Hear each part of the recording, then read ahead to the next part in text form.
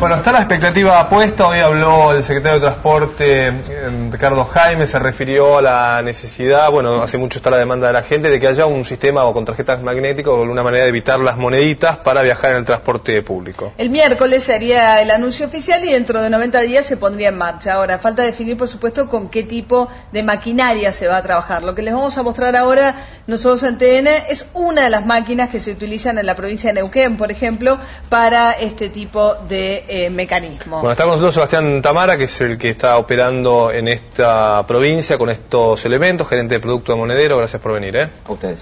Entonces, ¿este es el modelo que funciona actualmente en subtes? En subtes, en el ferrocarril Urquiza y en los colectivos de la ciudad de Neuquén.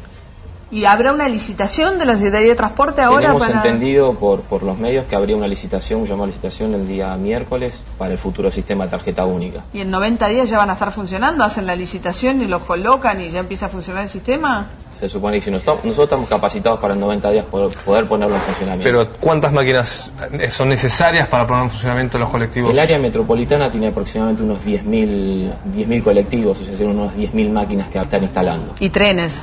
Y trenes, obviamente. Nosotros ya estamos operando en el ferrocarril Urquiza, en las seis líneas del subte, eh, en los colectivos de todos los, colectivos de la ciudad de Neuquén, que hoy el 98% de los viajes diarios que se hacen en colectivo en la ciudad se pagan con monedero, y los, los peajes de Ustedes acceso- llaman a esto monedero. Exacto, es la tarjeta, digamos, Porque uno piensa en monedero, piensa en moneda, no, es la tarjeta. es la digamos. tarjeta sin contacto eh, para el pago del transporte. Ahora, ¿en subtes dónde está? Porque eh, está en todas las estaciones, ¿no? todas las estaciones ¿Sí? se puede reca- recargar la tarjeta y en todos los molinetes eh, se puede estar abonando con la tarjeta monedero. Eh, ¿Este producto de dónde viene? ¿Dónde se consigue? ¿Ustedes dónde lo tienen? ¿Dónde lo han comprado? ¿Dónde se Nosotros, fabrica? nosotros desarrollamos, digamos, la tecnología en forma local y tenemos partner, o sea, la tecnología de la tarjeta es eh, de Alemania, es alemana, y este es un sistema similar al que se, se utiliza en otras ciudades del mundo, como eh, Hong Kong, San Pablo, Londres. ¿Pero se Tokio. fabrica acá?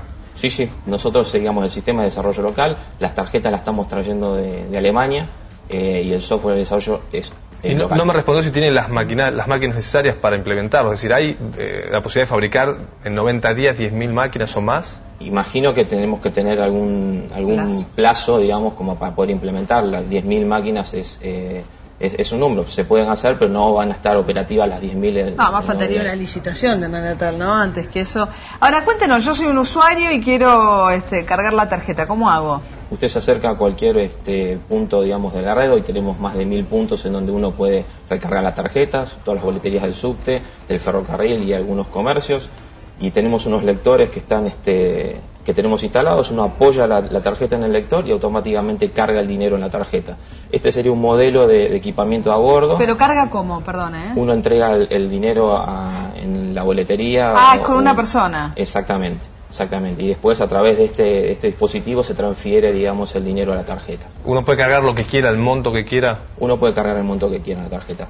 y, y de esa manera después lo pasa a esta máquina directamente como un lector. Esto sería el- una consola que, como la que tienen los choferes en, en los colectivos, en donde uno, el chofer apretaría el destino, uno apoya la tarjeta en el validador y automáticamente cobra el pasaje. Pero esto requiere de la participación del chofer apretando el destino. Tal cual, tal cual es hoy el, el sistema de las monedas. Sí, porque uno, bueno, uno llega y le pregunta, ¿no? De Hay- cuánto hay quiere, de qué tarifa quiere y el chofer se lo indica a la máquina. Exactamente. Entonces uno le indica la, la- la tarifa al chofer, el chofer la marca y uno lo pasa al lector. Exactamente. Uno simplemente apoyando la tarjeta en el lector, automáticamente descuenta. ¿Y dónde se recarga? En los puntos que nosotros tenemos habilitados, y en el caso de poder ampliar el sistema al área metropolitana, habría que desarrollar este, rápidamente puntos para la recarga de la tarjeta. Pero hay otros países donde esto se puede hacer eh, con máquinas directamente, ¿no? Con, este, con tarjeta de crédito y cargar la tarjeta sin necesidad de pasar por un punto. Exacto. Nosotros tenemos habilitado un sistema que nosotros llamamos monedero combinado, en donde vinculamos una tarjeta de crédito a la tarjeta monedero y se recarga en forma automática por módulos predefinidos. Entonces uno no necesitaría recargar la tarjeta. Pero eso no es lo que se va a implementar acá. No, no tenemos las definiciones. Nosotros sí tenemos habilitado ese sistema. Y ¿Dónde lo, lo usan? Eh, Para los mismos, o sea, para el subte, el ferrocarril eh, o los eh, colectivos de la ciudad de Neuquén pueden eh, combinarse los productos. Ah, entonces no hace falta ir a cargarlo a una ventanilla, en No el caso de Neuquén, por ejemplo. No necesariamente. La alternativa es, Tarjeta, una combinada contra una tarjeta de crédito. pero se llama a quién, se llama por teléfono, a quién se le No, avisa se, se quiero. acerca un centro de adhesión y se hace el trámite de adhesión, digamos, de vinculación del monedero a una tarjeta de crédito. Y después se utiliza para el colectivo directamente la tarjeta de crédito, ¿no? No, es- no, no, el Ah, monedero. hay que utilizar igualmente otra tarjeta. Exactamente. ¿Y cómo hago yo para saber cuánto crédito me queda? No hay, solo te- tengo que ir a ventanilla, no hay un lugar donde yo pueda ir y consultar el resto que me queda de crédito en la No, tarjeta. puedes ingresar a, a la página de internet de, de Monedero, donde colocando tu número de tarjeta tenés el, el- todo el historial de las transacciones que vas realizando y cada vez que vos apoyás la, la- la tarjeta en un, en un lector te indica el saldo que te va quedando en la tarjeta. el lector cuando me subo al colectivo, por ejemplo, lo apoyo y ahí me lo indica. Por ejemplo, acá yo estaría apoyando, me cobra la tarifa y automáticamente ahora Me da el saldo. me da el saldo. En el subte lo tendría quien me atiende en la ventanilla, digamos. ventanilla. Me tienen que informar ahí. Exactamente. O en los molinetes. Uno apoya la, la tarjeta en el molinete, cobra la Y tarifa y, dice. muestra el saldo. ¿Cuál es el costo que tiene una máquina? Y, y si ya está claro si se va a hacer cargo cada empresa de colectivo de, de instalarlo. Claro, hay, eh, no tenemos muchas definiciones, o sea, hay, hay di- diferentes tipologías de equipamiento, rondan entre los 3.000 y 4.000 dólares dependiendo eh, el sistema que finalmente se, se intente instaurar. Ahora, ustedes cobran por la maquinaria y por el sistema después, por el, eh, digamos, por mantener el sistema. Exactamente. Sí.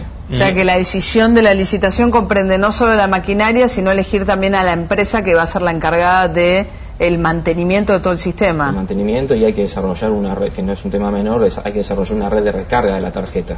Eh, o sea, si el usuario no tiene un lugar eh, accesible para la recarga, eh, Claro, si yo me quiero tomar un colectivo en algún lugar del conurbano de la ciudad de Buenos Aires, saber dónde puedo recargarlo.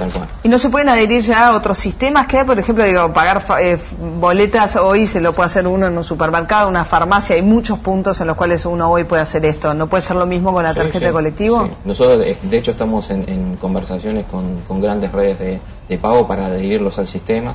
Eh, y además la tarjeta permite también otros medios de, de pago vía electrónica, como pago mis cuentas o SMS vía teléfono celular. O sea que pues, yo podría recargar la tarjeta en el supermercado. No ahora, pero No ahora, en pero un event- futuro cercano. ¿Y cuál va a ser el costo de la tarjeta para cada usuario que va a tener que comprar, además del pasaje, digamos, la tarjeta magnética? Exacto. No, no, no sabemos cómo va a ser el sistema. Actualmente, Neuquén? ac- actualmente nosotros en, en Neuquén estamos este, bonificando el costo de la tarjeta contra una carga mínima de, de- en estos momentos de dos pesos. Sí estamos cobrando por la pérdida de la tarjeta y la reposición este, unos seis pesos aproximadamente. ¿Hay que denunciar la pérdida de la tarjeta? Si uno pierde la tarjeta y hace la denuncia y el producto está nominado, puede recuperar el saldo que tiene cargada la tarjeta. O sea, si vale la pena, Si vale la pena, la pues si cuesta 6 pesos, uno por ahí le quedan 4 pesos, Claro. no conviene, ¿no? Y, y uno no puede, pues usted dice que ustedes bonifican la tarjeta, bonifican solo la primera, ustedes quedan registrados la persona que saca la primera tarjeta. Sí, el sistema permite registrar la, la tarjeta y contra el registro tener un seguro contra saldo y tenemos tarjetas que son al portador que funcionan como el efectivo. Ahora, eh, cu- cuestiones por ahí menores, pero van a ser de orden práctico seguramente en los próximos días. Esto va a estar junto con las máquinas hoy de monedas de los colectivos, es decir, que tiene que haber también el colectivo un espacio físico para instalar también esta otra máquina. Exactamente, la, la idea por la información que tenemos es que coexistirían los sistemas con la- las actuales monederas y lo que debería incorporarse es este lector que estaría al lado del- del- de la lectora, digamos, de la máquina de monedas actuales. Claro, porque en realidad el- en el colectivo El el- el- ya está. el teclado lo tiene, porque cuando el No va a necesitar otro teclado. Y no, cuando el pasajero le indica el destino... Le va a tener el- que avisar obviamente con qué paga, ¿no? Si con- Sí, la, la idea es que el, el teclado directamente habilita cualquier medio de pago, entonces apoya la tarjeta y cobra con, con la tarjeta monedero o con las monedas.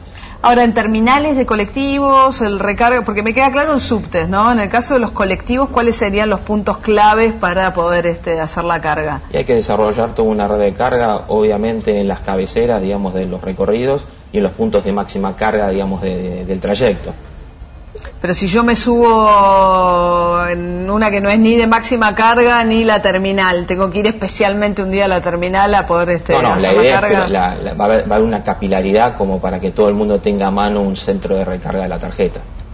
Pero me tengo que bajar. O sea, si es la parada que no me toca, me tengo que bajar, ¿no? No, pero va a haber muchos puntos de Muchos recarga. puntos, sí, sí. sí, la idea es que no tengas ningún ¿Han de tenido problema. reuniones con el sector de los transportistas, digo, con los empresarios del transporte para contarles de esto? Eh, ¿Ellos se han mostrado interesados en algún momento? Sí, hemos tenido charlas con, con varias empresas de, de transporte, pero digamos todos estaban a la espera de una macro definición de la Secretaría de Transporte, que es la que tiene la potestad de poder instaurar un sistema de tarjeta única.